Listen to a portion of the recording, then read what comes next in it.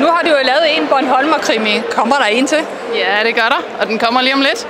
Øh, det er meningen, den skal udkomme i slutningen af januar og starten af februar. Den kommer til at hedde Bornholmerdybet, som øh, læserne på, eller hvad hedder det, de besøgende på krimimessen sidste år var med til at stemme om titlen, og den blev Bornholmerdybet.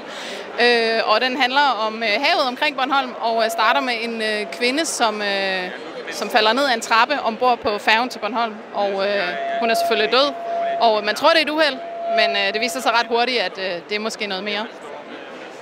Er det de samme hovedpersoner som i Granitgraven? Ja, det er det. Det er præsten Agnete Brun, og så hendes øh, fætter Lars har også fået sådan mødet sig med ind, så han er, han er også øh, blevet sådan medhovedperson.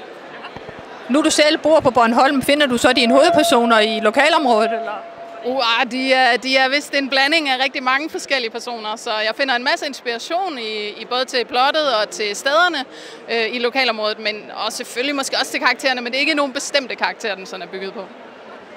Vi glæder os meget til den nye bog. Det gør jeg godt nok også. og tak fordi du vil snakke med os. Ja, selv tak.